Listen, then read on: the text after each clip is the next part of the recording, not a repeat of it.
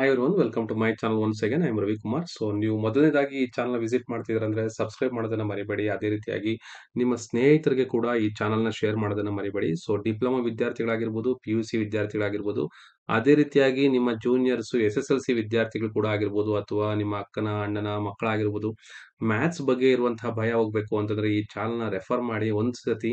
So ಅವ್ರು ಏನಪ್ಪಾ ಅಂತಂದ್ರೆ ಅವ್ರು ಕೊಡುವಂತ ಫೀಡ್ಬ್ಯಾಕನ್ನು ನೀವು ಆಮೇಲೆ ನೋಡಿ. Okay. So welcome back to the channel. ಇಲ್ಲೇನಪ್ಪಾ ಅಂದ್ರೆ ನಾವು ಇಂಪಾರ್ಟೆಂಟ್ ಆಗಿ ಮಾಡ್ತಾ ಸ್ಟ್ರೈಟ್ ಲೈನ್ಸ್ನ ಎರಡನೇ ವಿಡಿಯೋ ಮಾಡ್ತಾ ಇದ್ದೀರಿ. ಸೊ ಮೊದಲನೇದಾಗಿ ನಾವು ಕಲ್ತ್ಕೊಂಡು ನಿಮ್ಗೆಲ್ಲ ಗೊತ್ತಿದೆ slope of a m is equal to tan theta that is what angle of inclination ಕೊಟ್ಟಾಗ slope of line joining two points. ಈಗ ನಾವು ಕಂಟಿನ್ಯೂ ಮಾಡ್ತಾ ಈಕ್ವೇಷನ್ ನೋಡಿ, ಇದು ನೆನ್ಪಿಟ್ಕೊಳ್ಳಿ ಕರೆಕ್ಟ್ ಆಗಿ. ಇಲ್ಲಿ ಬರುವಂತದೆಲ್ಲ ನಿಮಗೆ ಈ ಕ್ವೆಶನ್ ಆಫ್ ಸ್ಟ್ರೈಟ್ ಲೈನ್ಸ್ ಅಂತ ಇರುತ್ತೆ. ಏನಂತ ಇರುತ್ತೆ ಕ್ವೆಶನ್ ಆಫ್ ಸ್ಟ್ರೈಟ್ ಲೈನ್ಸ್ ಅಂತ ಬರುತ್ತೆ. So equation of straight lines ಅಂತ ಬಂದಾಗ ನಾವು ಯಾವ ತರ ಪ್ರಾಬ್ಲಮ್‌ನ ಮಾಡ್ತೀರಿ ಅಂತ ನೋಡ್ಕೊಳ್ಳಿ. ಸೊ ಯಾವಾಗ ಯಾವಾಗ ನಿಮಗೆ ಈಕ್ವೇಷನ್ ಆಫ್ ಸ್ಟ್ರೈಟ್ ಲೈನ್ ಅಂತ ಬರ್ತದೋ, ಇಲ್ಲಿ ನಮಗೆ ಮೂರು ಟೈಪ್ ಆಫ್ ಪ್ರಾಬ್ಲಮ್ ಬರ್ತದೆ. ಓಕೆ. ಮೂರು type of problem.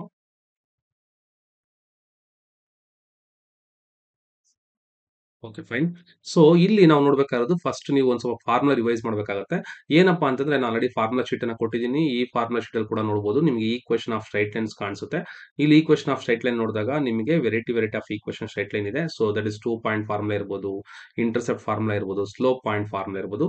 ಅದೇ ರೀತಿಯಾಗಿ ಈಗ ನೀವು ಜಸ್ಟ್ ಇವಾಗಿರುವಂತಹ 2024 ಇಂದ ಅಪ್ಡೇಟ್ ಆಗಿರುವಂತಹ ಫಾರ್ಮುಲಾಗಳನ್ನ ಓದಬೇಕು ಅಂತಂದ್ರೆ ಇಲ್ಲಿರುವಂತದ್ದು ಒಂದು ಇಂಟರ್ಸೆಪ್ಟ್ ಫಾರ್ಮ್ ಅಂತೇಳಿ ಏನಂತ ಕರೀತಾರೆ ಇಂಟರ್ಸೆಪ್ಟ್ ಫಾರ್ಮ್ ಅಂತ ಕರೀತಾರೆ. ಕ್ವಶನ್ ಯಾವ ರೀತಿ ಇರುತ್ತೆ? ದ ಈ ಫೈಂಡ್ ದ ನೋಡಿ ಇಲ್ಲಿ ದ ಇರೋದ್ ಕಡೆಗೆ ಫೈಂಡ್ ಅಂತ ಕೊಡ್ತಾರೆ. Find the equation of straight line with x intercept a ಅಂತ ಕೊಟ್ಟಿದ್ದಾರೆ ಅಂಡ್ ವೈ ಇಂಟರ್ಸೆಪ್ಟ್ ಬಿ ಅಂತ ಕೊಟ್ಟಿದ್ದಾರೆ. ಇಲ್ಲಿ ನಿಮಗೆ ಸಮ್ ನಂಬರ್ ಟೂ ಮತ್ತೆ ಫೈವ್ ಕೊಡಬಹುದು ಅಥವಾ ತ್ರೀ ಮತ್ತೆ ಸಿಕ್ಸ್ ಕೊಡಬಹುದು ಅಥವಾ ಇದೇ ರೀತಿಯಾಗಿ ನಿಮ್ಮ ಓನ್ ನಂಬರ್ಸ್‌ನ ಕೂಡ ಹಾಕೋಬಹುದು. ಈ ತರ find the equation of straight line with x intercept and y intercept ಅಂತ ಕೊಟ್ಟಾಗ ನೀವು ಈ ಫಾರ್ಮುಲಾನ ಯೂಸ್ ಮಾಡಬೇಕಾಗುತ್ತೆ. That is what x by a plus y by b is equal to one x by a plus y by b is equal to one ತುಂಬಾ ಸುಲಭವಾಗಿರುವಂತಹ question ಇದು. So just ನಾವು ಸಾಲ್ವ್ ಮಾಡೋಣ ಈಗ. ನೋಡಿ find the equation of straight line ಈ find the equation of straight line having x intercept is ಎಷ್ಟಿದೆ two ಇದೆ. ವೈ ಇಂಟರ್ಸೆಪ್ಟ್ ಎಷ್ಟಿದೆ ತ್ರೀ ಇದೆ. ಹಾಗಾದ್ರೆ ಏನ್ ಮಾಡ್ಬೇಕು ನಾವೀಗ ಕ್ವಶನ್ ಆಫ್ ಸ್ಟ್ರೈಟ್ ಲೈನ್ ಕಂಡಿಬೇಕು ಸೊ ಇದು ಸ್ಟಾರ್ಟ್ ಮಾಡೋದಕ್ಕಿಂತ ಮುಂಚೆ ಜಸ್ಟ್ ಒಂದು ಐಡಿಯಾ ಕೊಡ್ತೀನಿ ನಿಮಗೆ. ಯಾವುದೇ ಒಂದು ಈಕ್ವೇಷನ್ ಆಫ್ ಸ್ಟ್ರೈಟ್ ಲೈನ್ ನೋಡಿ ಈಕ್ವೇಷನ್ ಅಂತ ನಿಮ್ಮ ಕ್ವಶನ್ ಅಲ್ಲಿ ಇದ್ರೆ ನಿಮಗೆ ಬರುವಂತ ಆನ್ಸರ್ ಈ ರೂಪದಲ್ಲಿ ಇರಬೇಕಾಗತ್ತೆ. ಯಾವ ರೂಪದಲ್ಲಿ a x plus b y plus c is equal to zero so ಈ ಫಾರ್ಮ್ಯಾಟ್ ಅಲ್ಲಿ ನಿಮ್ಗೆ ಏನಿರ್ಬೇಕಾಗತ್ತೆ ಈ ಕ್ವೇಶನ್ ಇರಬೇಕಾಗುತ್ತೆ. That is what a x plus b y plus c is equal to zero ಈ ಫಾರ್ಮ್ಯಾಟ್ ಅಲ್ಲಿ ನಿಮಗೆ ಬರುವಂತಹ ಆನ್ಸರ್ ಇರಬೇಕಾಗುತ್ತೆ. ಇದು ಚೆನ್ನಾಗಿ ನೆನ್ಪಿಟ್ಕೊಳ್ಳಿ ಹಾಗಾದ್ರೆ ಫೈಂಡ್ ದ ಈಕ್ವೇಶನ್ ಕೊಟ್ಟರು ಎಕ್ಸ್ ಇಂಟರ್ಸೆಪ್ಟ್ ಕೊಟ್ಟಿದ್ದಾರೆ, ವೈ ಇಂಟರ್ಸೆಪ್ಟ್ ಕೊಟ್ಟಿದ್ದಾರೆ. So what is the x intercept? X intercept ಅಂದ್ರೆ ಎ. ವೈ ಇಂಟರ್ಸೆಪ್ಟ್ ಅಂದ್ರೆ ಏನು b. So this is a very simple. First ಈ ಇನ್ಪುಟ್ನ ಬರ್ಕೋಬೇಕು ಸೊ ನಾನು ಇದು ಎಕ್ಸ್‌ಪ್ಲೇನ್ ಮಾಡಕ್ಕೋಸ್ಕರ ಇದನ್ನ ಬರ್ದಿದ್ದೀನಿ. ಇದನ್ನ ಬರೀಲೇಬೇಕು ಅಂತೇನಿಲ್ಲ. ಜಸ್ಟ್ ನಿಮ್ಗೆ ಐಡಿಯಾ ಕೊಟ್ಟಿದ್ದೀನಿ, ಯಾವ ತರ ಆನ್ಸರ್ ಇರಬೇಕು ಅಂತೇಳಿ. ಬೇಕಾದ್ರೆ ಈ ಒಂದು ಕ್ವಶನ್ ಹಿಂಗೆ ಇರಲಿ, ನಾವು ಸಾಲ್ವ್ ಮಾಡಿ ಚೆಕ್ ಮಾಡೋಣ. ಓಕೆನಾ? ಸೊ ಹಾಗಾದ್ರೆ ಸೊಲ್ಯೂಷನ್ ಬರೀಬೇಕಾ ಇದ್ದೀನಿ. ಗೀವನ್ ಏನ್ ಕೊಟ್ಟಿದ್ದಾರೆ? ಫಸ್ಟ್ ಏನ್ ಕೊಟ್ಟಿದ್ದಾರೆ? That is very simple. A is equal to two ಕೊಟ್ಟಿದ್ದಾರೆ, ಮತ್ತೆ ಬಿ ಇಸ್ ಈಕ್ವಲ್ ಎಷ್ಟು ಕೊಟ್ಟಿದ್ದಾರೆ? ತ್ರೀ ಕೊಟ್ಟಿದ್ದಾರೆ. ಸೊ ಯಾವಾಗ ಯಾವಾಗ ಎಕ್ಸ್ ಇಂಟರ್ಸೆಪ್ಟ್ ವೈ ಇಂಟರ್ಸೆಪ್ಟ್ ಕೊಟ್ರೋ ಇಷ್ಟೇ ಬರ್ಕೊಳ್ಳಿ. ಹಾಗಾದ್ರೆ we know that what we know we know that ಅಂದ್ರೆ ನಮಗೆ ಗೊತ್ತಿದೆ. What is the formula? X by a plus y divided by b is equal to 1 ಚೆನ್ನಾಗಿ ನೆನ್ಪಿಟ್ಕೊಳ್ಳಿ, ನಿಮಗೆ 5 ಇಂದ 6 ಮಾರ್ಕ್ಸ್‌ಗೆ ಬರುವಂತಹ ಪ್ರಾಬ್ಲಮ್ ಇದು. ಎಕ್ಸ್ ಬೈ ಎ ಆದರೆ ನಮ್ಗೆ ಏನ್ ಹಾಕೋಣ x divided by a value. A value ಎಷ್ಟು? 2 ಇಲ್ಲಿ ಯಾವುದೇ ಕಾರಣಕ್ಕೆ ನೀವು ಎಕ್ಸ್‌ಗೆ ವ್ಯಾಲ್ಯೂ ಸಬ್ಸ್ಟಿಟ್ಯೂಟ್ ಮಾಡಬಾರ್ದು ಎಕ್ಸ್ ಮತ್ತೆ ವೈ ನಮಗೆ ಆನ್ಸರ್ ಕೂಡ ಬರುತ್ತೆ. ಇನ್ನು ಬಿ ವ್ಯಾಲ್ಯೂ ಎಷ್ಟು? 3 ನಾನು ಆಗ್ಲೇ ಹೇಳಿದೆ ನಿಮಗೆ. ಇದು ಎ ವ್ಯಾಲ್ಯೂ ಇದು ಬಿ ವ್ಯಾಲ್ಯೂ. ಸೊ ಹಾಗಾದ್ರೆ y value that is b value ಎಷ್ಟಾಯ್ತು? That is what 3 is equal to ಎಷ್ಟು? 1 ಇಲ್ಲಿ ಸಿಂಪ್ಲಿಫೈ ಮಾಡೋದೇ ಇರುವಂತದ್ದು. ಸುಮಾರು ಜನ ವಿದ್ಯಾರ್ಥಿಗಳು ಇದನ್ನ ಸ್ವಲ್ಪ ಕನ್ಫ್ಯೂಸ್ ಮಾಡ್ಕೋತಾರೆ. ನೋಡ್ಕೊಳ್ಳಿ ವೆರಿ ಸಿಂಪಲ್ ಟೆಕ್ನಿಕ್ ಇದು. ಏನಪ್ಪಾ ಅಂದ್ರೆ ಫಸ್ಟ್ ನೀವು ಈ ಎರಡನ್ನ ಟೂ ಮತ್ತೆ ತ್ರೀ ಏನಿದೆ ಇದನ್ನ ಮಲ್ಟಿಪ್ಲೈ ಮಾಡಿ. 2 3 ದ ಎಷ್ಟಾಯ್ತು? ಸಿಕ್ಸ್ ಆಯ್ತು.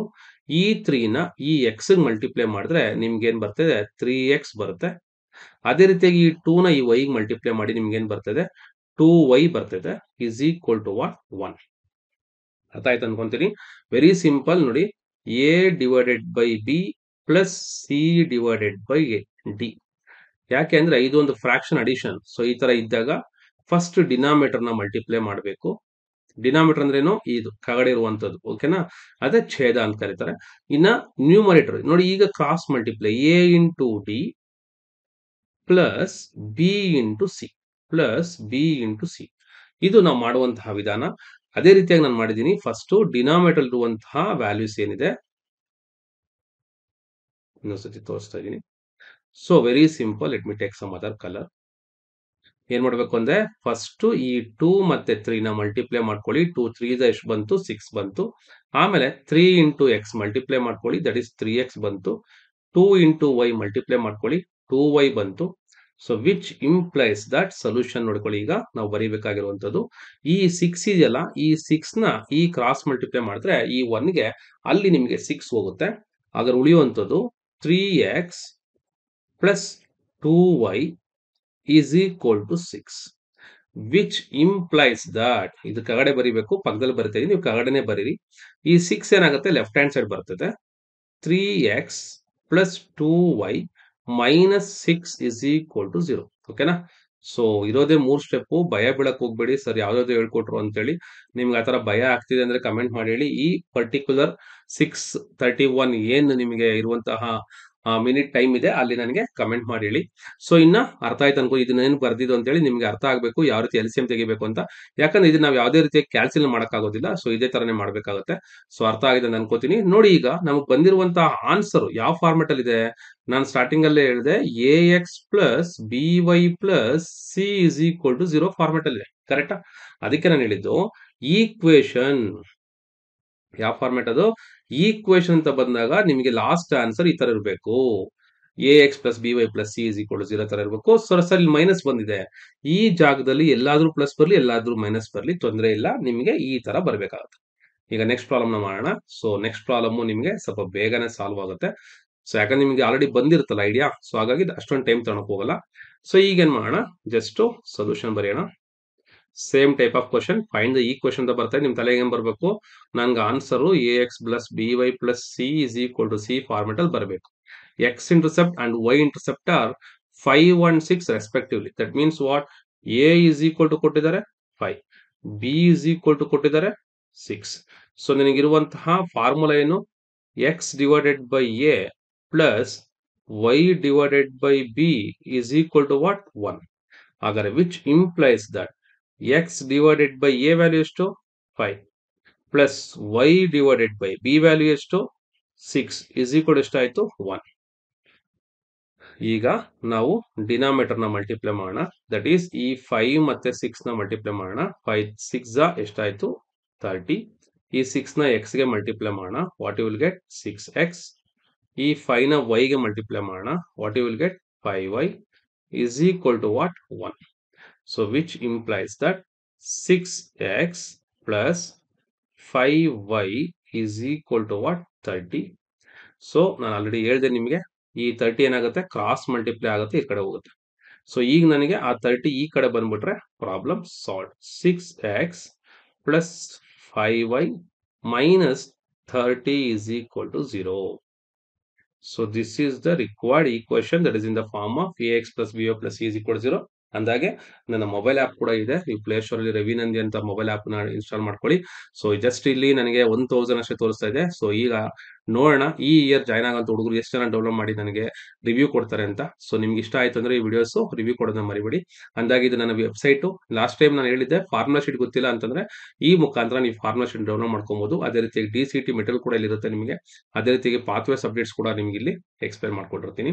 ಓಕೆನಾ ಸೊ ಇದು ನಿಮ್ಗೆ ಬಂದಿರುವಂತಹ solution let us take one more example find the equation of straight line x intercept is five y intercept is two so ಇದು ಡೈರೆಕ್ಟ್ ಕ್ವಶನ್ ಬೇರೆ ಇನ್ನೇನು ಮಾಡೋಕ್ಕಾಗಲ್ಲ. ಇಂಡೈರೆಕ್ಟ್ ಕ್ವಶನ್ ಅನ್ನೋದಂತೂ ಈ ಸತಿ ನಿಮ್ಗೆ ಇರೋದೇ ಇಲ್ಲ. ಓಕೆನಾ ಸೊ ಹಾಗಾದ್ರೆ ಏನ್ ಮಾಡೋಣ? Given value what is the given value a is equal to what five b is equal to what two so what is the formula we x divided by a plus y divided by b is equal to what one which implies that x divided by 5 plus y divided by 2 is equal to what? 1 which implies that, so denominator multiply ಮಾಡೋಣ. That is what 5 2s ಎಷ್ಟಾಯ್ತು ನಿಮಗೆ 10 ಸಿಗ್ತಾ ಇದೆ. ಈ two ನ X multiply ಮಾಡೋಣ. Two X ಸಿಕ್ತು. ಅದೇ ರೀತಿ ಇದು ಕ್ರಾಸ್ ಮಲ್ಟಿಪ್ಲಿಕೇಶನ್ ತಂದ್ಕೊಳ್ಳಿ. ವೈಗೆ ಮಲ್ಟಿಪ್ಲೈ ಮಾಡೋಣ. ಫೈವ್ ವೈ ಸಿಕ್ತು. ಇಸ್ ಈಕ್ವಲ್ ಟು ಏನಾಯ್ತು? ಒನ್ ಆಯ್ತು. ಸೊ ಈಗೇನ್ ಮಾಡ್ತೀರಾ? ಕ್ರಾಸ್ ಮಲ್ಟಿಪ್ಲೈ ಮಾಡ್ತೀರಾ?